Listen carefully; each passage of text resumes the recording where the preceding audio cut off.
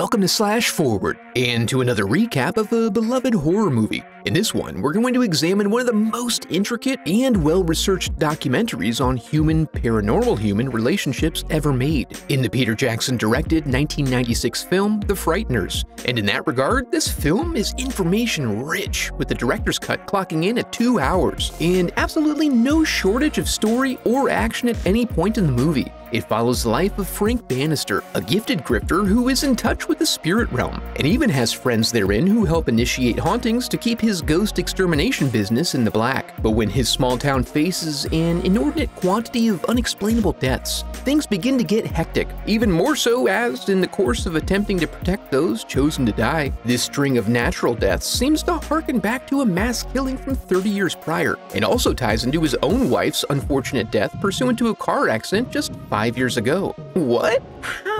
Well, let's step through it piece by piece here, and then discuss some of the movie's merits and demerits in the hopes of ascertaining whether this would be the type of film that would bring you much enjoyment. Leave a comment to let me know which movie from the time period had the superior visual effects. This one, or Casper, or Jurassic Park. And if you're interested in learning more about ghost culture, be sure to check out some of the other videos on my channel. Let's get to it. We open on a dark and stormy night, zooming into a palatial mansion that's full of holes and screaming. A virginal young victim is pawed at by the walls and furniture, while an old crone shouts about the sins of the flesh and whatnot, eventually blasting the carpet monster wide open. Through journalistic narration, we then learn of a mysterious heart condition ripping through the countryside of Fairwater and claiming the lives of many healthy victims. Other than their exploding hearts, of course, the town is known for mass deaths from a murder spree 30 years prior, so the public is naturally connecting the two since they are so similar. Our cub reporter Steve is tasked with hitting the pavement to get some juice from the residents. He ends up working the most recent funeral, where he looks down upon the Flim Flam men working the same funeral, like poor old Frank Bannister here. He just wants to connect families with their loved ones, but he's turned away, and discouraged, he takes a shortcut through the switchbacks and directly into some gym rat's lawn.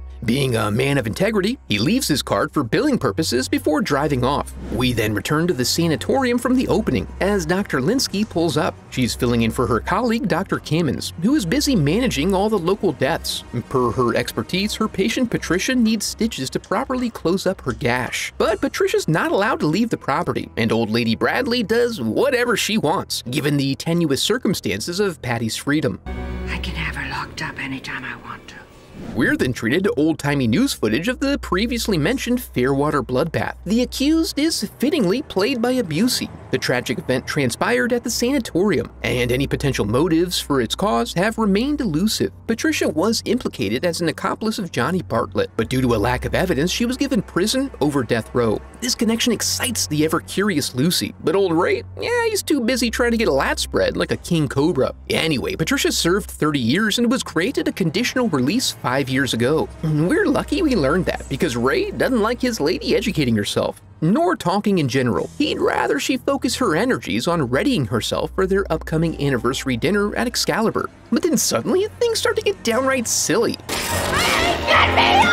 He's not able, but he does get her down. With continued phenomenological escalation, Lucy defies her husband's direct order and calls that psychic fruitcake Frank for help. Frank is able to quickly assess the cause of their troubles and offers to cleanse the home for only 450 bones, or by going even on the yard damage. Upon receiving the green light, Frank immediately gets to work, choosing the most unnerving possible method for spritzing around his holy water. His efforts eventually produce a little pouch of ectoplasm that can be easily evacuated through the garbage disposal. After given the all clear, he's momentarily taken aback by the number 37 inscribed in flames on Ray's forehead. When Frank arrives home, we see that his grift is only a partial lie, in that he actually has a couple of friendly ghosts under his employ. Stuart and Cyrus don't seem to know anything about the significance of the number, and they also seem to have a bafflingly inconsistent relationship with solid matter. The next morning, Cyrus pops in to check check on the status of Frank's taint and gets himself heel stomped down the drain. The ghosts are looking to have a meeting to confirm the requisite conditions for maintaining a happy ghost environment. This surely does not entail walking through them while they're talking, which is so disrespectful. He's too focused on making death his business to worry about their well being. Then some crusty old fart comes in, guns blazing, and it's revealed that ghosts may be able to die again from ghost bullets. In the evening, Frank then spends the remainder of his day pondering life as a house. The next morning, they get kicked into high gear when Frank gets a bank statement saying he needs to pay 15k or they're gonna take the frame of his house. So he really needs these turds to step up their scare game. The boys immediately get to work casing a new joint in the high rent district of town. They employ the help of the babies, who absolutely love levitating, much to mommy's chagrin. Frank gets the call, and as he works to race around yet another funeral procession, the judge's warning that death seems to be present in the town falls on deaf ears. When Frank arrives, he starts right in on his usual bullshit. Unfortunately, he now has a feature in the Gazette, so she'll be handling her flying baby problem on her own, thank you. He takes this up with the editor, who verbally excoriates him about his business practices, but also offers up no evidence to support her accusations.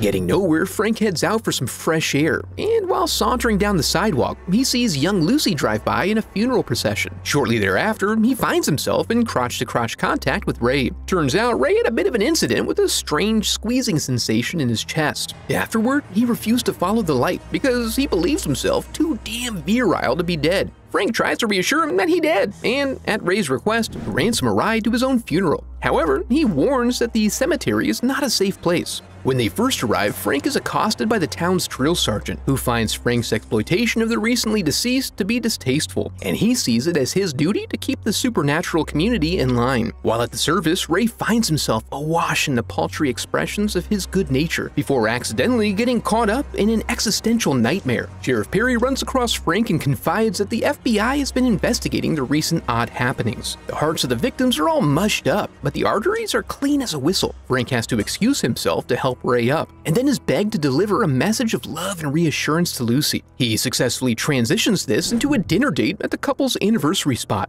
They get on with the cuckolding, and after a few sympathetic phrases, Lucy proves to be intensely interested in Frank's background. He explains that a car accident throttled his brain, allowing him to see ghosts. Ray tries to bring it back around by assuring her that he's going to stay in the house and will always take care of her. But with Frank's experience, he understands the pitfalls of that plan, and instead expresses to Lucy Ray's assertions that she should get on with her life and put him behind her. Frank then eliminates this annoyance with a quick elbow to the face before excusing himself to the restroom. While in there, he sees another man with a number on his forehead, and this time, the number is called in whilst Frank is present. After a gentle heart hug, this most recent victim finds himself chasing his mommy down a tunnel of light. Back at the station, it's revealed that there was a witness who saw Frank leave the bathroom shortly before the body was discovered.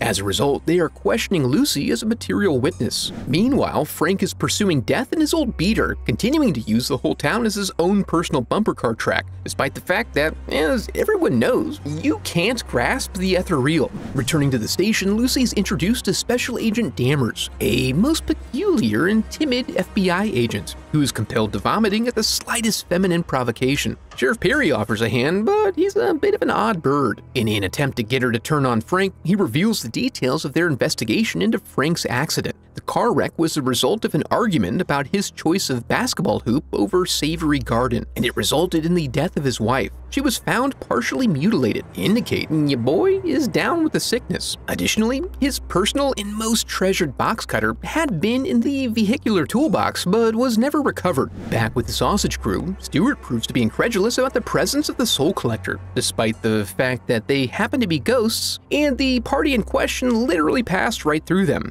But bad omens abound as the collector really starts getting his groove on. This time, Frank discovers the victim to be the reporter, watching as he breaststrokes up to heaven. This puts him at yet another scene of death.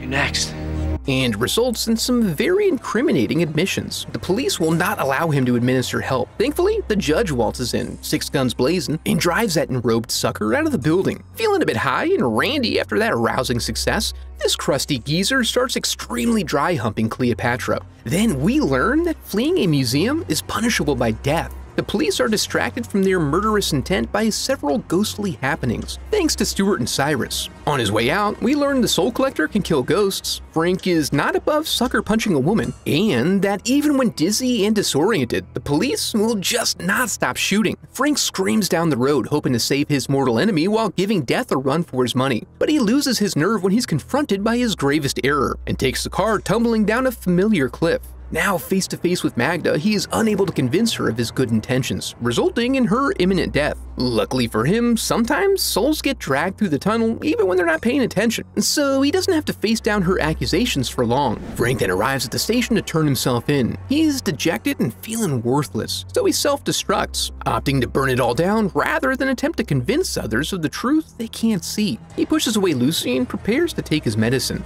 In a legal sense, on the way home, Ray continues to be confused about why Lucy is ignoring him, presuming it to be related to his gooey complexion. It's not the reason, but he's also also not wrong. Back in interrogation, Dammers is all wound up and full of conflict now. He impresses us all with his vast history of investigations of the paranormal and occult. He's thinking that Frank is pulling all this off with his mind powers, and that his accusations of Death's hand being at work here is just a reference to the alter ego he dons when he's feeling particularly saucy and ready to murder. He's heading down this path because five years ago, Frank's wife was the first crushed heart victim. He's left to rot in the holding cell where his ghost buddies come to learn that he's lost his gift of second sight due to his renewed lack of faith. And as he suffers, Dammers, the little freak, peers in on him like a little rat. A rat with a periscope, obviously. Meanwhile, Lucy's gone to his house to see if she can make any sense of all this. She does find a decrepit old basketball hoop that has been transformed into a memorial garden. Her visit happens to coincide with an answering machine message from Ms. Bradley calling for Frank's help in driving an evil spirit out of her daughter. Lucy takes this up as her cross to bear and proceeds back to the cursed sanatorium. She enters the wretched home, which offers a much more ominous view to the spiritually attuned. She finds Patricia up in her room and very pleased to have a shoulder to cry on.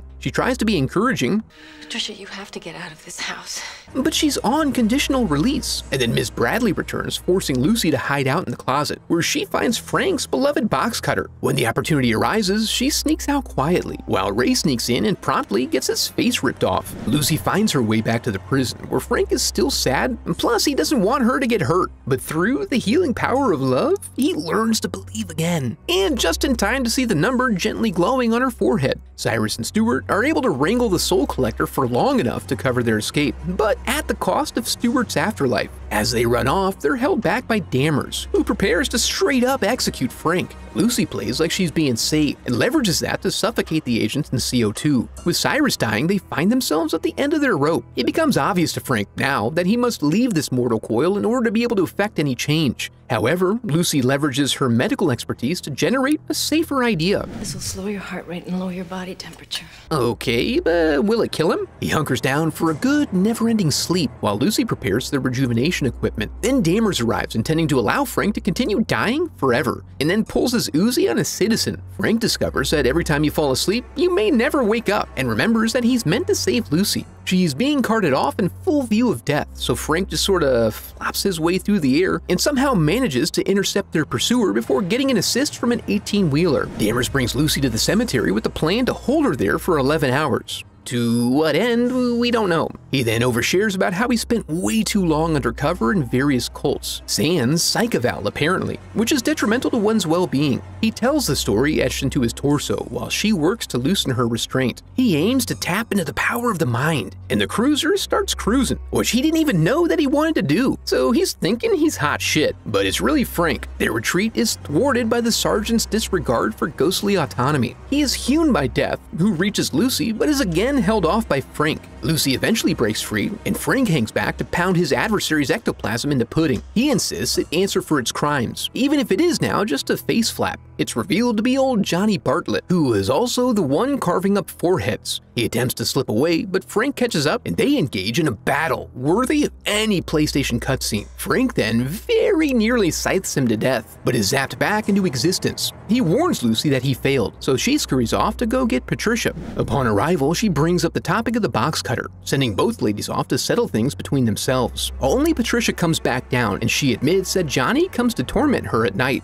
He then arrives as a regular ghost now, and we hear that his motivation all this time has been to break various serial killer spree records. Patricia demonstrates an unusual enthusiasm for his plan as a tormented victim. She then leaves to get her jacket, but instead grabs a knife so the couple can play their little stabby sex games. Lucy, pressed on by the urgency, goes to retrieve Miss Bradley, only to find that Patty already done did it. A struggle ensues and Lucy manages to lock herself outside the room, but is not yet safe as the carpet man comes back. But then Frank arrives and releases her. As they retreat, they get into an altercation with the painting, and when he pierces it on a bedpost, it's revealed that the nearby trophy actually contains Johnny's remains. Now, everyone knows you can only neutralize such an artifact by taking it to hallowed ground, so they go searching for the sanatorium's chapel for consecration. But along the way, they must also avoid the shotgun-wielding Patricia. Plus, after they split up, Dammers arrives as well, and it really cramps up the vibe. Lucy ends up stuck in an elevator and lucks out that Frank finds her first. He takes the ashes and accidentally catapults them into Dammer's greasy little fingers. He then immediately releases them before spraying Frank a little bit to teach him a lesson. With the end in sight, Frank relies on the power of holes to save himself and solve one of his three problems. He goes straight through to the basement where Lucy meets him, and then Patty meets them. Frank then releases a repressed memory that shows his wife was the pair's first post-mortem victim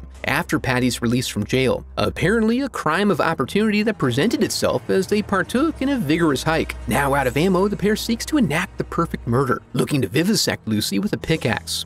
But a newly deceased Frank hops in and snatches her soul clean out of her meat suit, and he didn't even know he could do that. Then he drags her up to heaven, forcing Johnny to follow. Another novel discovery. They all make it all the way, and the two spree killers are feeling like real cocks of the walk until the tunnel turns molten and they're penetrated in every orifice by the devil's tendrils. Then old Debbie Bannister rolls up with Cyrus and Stuart, and just to say hi, you know, to make sure she still got it, but then tells him that it's not his time, so he dutifully goes back to Earth and agrees to spend his life with Lucy now as his new wife. Man, there really was a lot riding on their assumption that she would be agreeable to that outcome. Now, as we get a little deeper into the details, I wanted to reiterate that this is the director's cut. It has a full 13 extra minutes of footage and clocks in at 2 hours. I would hope that nothing is left unexplained, but let's see. To clarify a point of confusion when I was first watching, the glowing numbers are reminiscent of the number that was carved into Frank's wife's forehead, because Johnny Bartlett's MO was to carve his victims up with a number representing their place in his sequence of killings. His ultimate goal was to rack up enough kills to sit atop Mount Serial Killer, and he would constantly reference which real-life killers the pair was outpacing as their body count grew.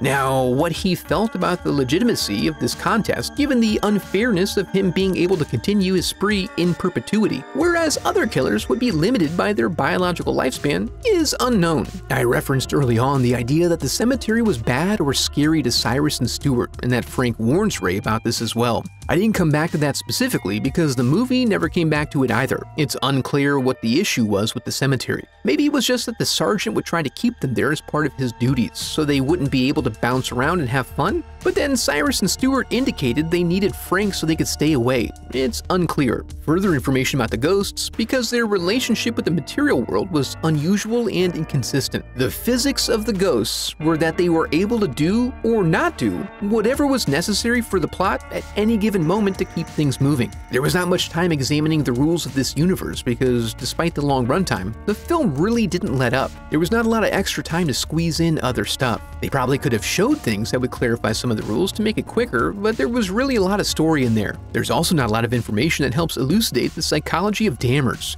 He had a deep sense of nationalism from serving his country so intently. He started out undercover in a sex cult where he sacrificed the sanctity of his body to get in good with the elders. From there, it was undercover with one pack of psychos after another, over and over and over again. This took its toll on him over time. There isn't much else to justify his behavior, other than that he was a complete weirdo. He had a Nazi vibe and had a swastika tattooed on his palm, but I believe the intent here is to show how deep he went undercover. All the markings on his body were earned over time from the various cases he worked, and his ultimate motivation was service of his country. The situation with his interactions with strong women seemed to just be a quirk likely a piece of psychological baggage picked up along the way somewhere. So with that explained to the degree it can or needs to be, we're left with quite a few questions. Aside from the cemetery concerns, which were mentioned just a moment ago, there is also the question of ghost clothing and accessories. Cyrus complained about being stuck in a bygone era of fashion due to when he died. However, the sergeant changed his look completely and even formed a couple of large guns.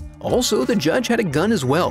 Where do ghost guns come from, and why do they hurt other ghosts? Also, if it's a projection of the individual ghost, how come Frank uses them later? And if they were conjured by Frank, why don't they all keep doing that all the time? Like a ghostly Green Lantern. If they can interact with matter and sometimes matter interacts with them, why no errant interactions? Sometimes they accidentally got run over by a truck, but the reverse was never true. No one got bowled over by a ghost running at full speed, and no one ever accidentally got their melon split wide open by a random ghost bullet. Seems like that would happen every once in a while, especially with the sergeant spraying like he do.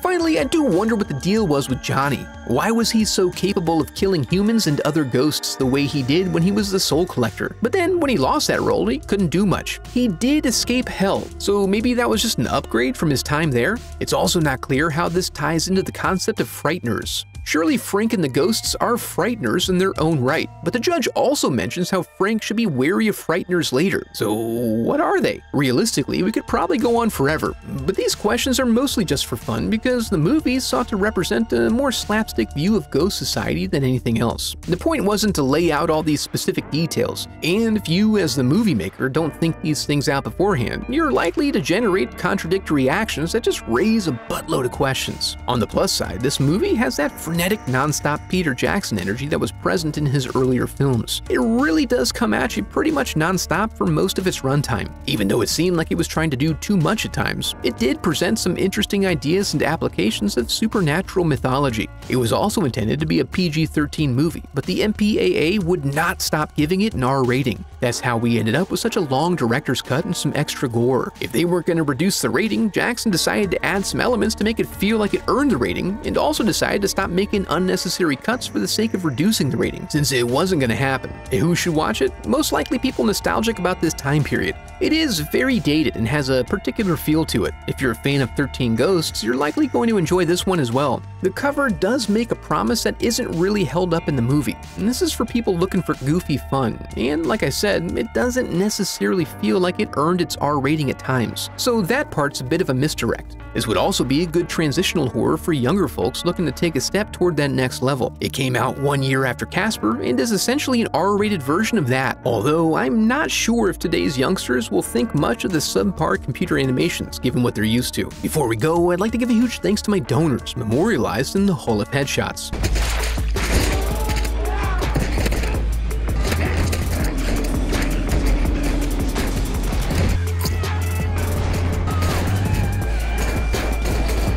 I have a website set up where you can support the channel through donations or merch. Any donation unlocks a growing collection of uncensored movie recaps. And if you enjoyed the video, I would love for you to become a part of the channel by subscribing. Thanks for watching.